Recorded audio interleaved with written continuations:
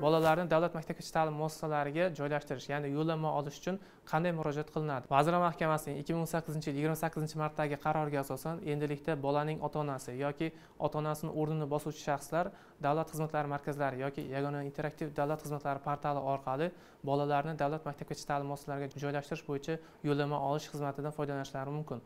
Buning uchun so'rovnoma to'ldiriladi. So'rovnomaga bolaning tug'ilganligi haqidagi ma'lumotnomalar ota onaning ismi sharifi haqidagi ma'lumotlar va davlat maktabgacha ta'lim muassasasining joylashgan joyi va u haqidagi boshqa ma'lumotlar kiritib o'tiladi. Shu bilan birgalikda bugungi kunda mazkur xizmatdan foydalanish bo'yicha bolaning ota onasi yoki uning o'rnini bosuvchi shaxslar davlat xizmatlari markazlari yoki yagona interaktiv davlat xizmatlari portali orqali murojaat qilishlari mumkin.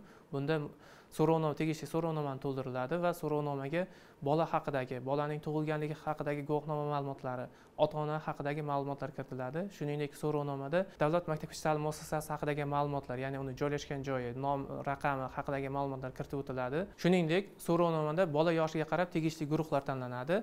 Yuqoridagi vazirlar mahkamasining qaroriga asosan mazkur xizmatdan foydalanishda fuqarolarimizning bir qancha toifalariga tegishli imtiyoz berilgan. Ya'ni quyidagi toifalar mazkur xizmatdan foydalanishda imtiyozga ega bo'ladi. Xunoza qiluvchi organlar yoki harbiy xizmatchi xodimlar shuningdek ko'p bolali oilalar pedagog va talabalar nogironligi bo'lgan shaxslar ilgari mazkur davlat maktabgacha ta'lim muassasasida farzandlari joylashtirilgan oilalar shuningdek yetim bolalar va ota onaning qaramog'idan mahrum bo'lgan bolalar mazkur xizmatdan foydalanishda imtiyozga ega bo'ladilar. Shu bilan birga yo'llanma olish bo'yicha so'rovnoma vakolatli organga kelib tushgandan so'ng vakolatli organ so'rovnomani ko'rib chiqadi va davlat maktabgacha ta'lim muassasasida tegishli bo'sh joy bor yoki yo'qligini aniqlaydi. Agar bo'sh joy bo'ladigan bo'lsa shu vaqtning o'zida Э, fuqarolarga tegishli yo'llanmani rasmiylashtiradi. Agar davlat maktab ta'lim muassasasida bo'sh joy mavjud bo'lmasa arizani ya'ni so'rovnomani tegishli navbatga qo'yib qo'yadi va fuqaroga xabarnoma yuboradi. Fuqarolarimiz mazkur xizmat natijasini olish bo'yicha yoki tegishli arizasini holatini ko'rib chiqish bo'yicha bevosita mygov.uz portaliga kirgan holda arizani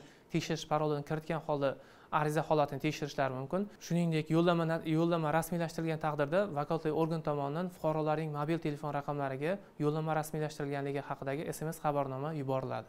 Agar mazkur xizmatdan foydalanishda qanaqadir muammolar yoki tushunmovchilik holatlari bo'lsa yoxud vakolatli organ tomonidan qanaqadir qonun buzilishlari muddat buzilishlari ortiqcha hujjat talab qilish holatlariga uchraydigan bo'lsangiz davlat xizmatlari agentligining o'n bir qirq sakkiz ishonch telefon raqamiga yoki adliya vazirligiga bevosita murojaat qilishingiz mumkin.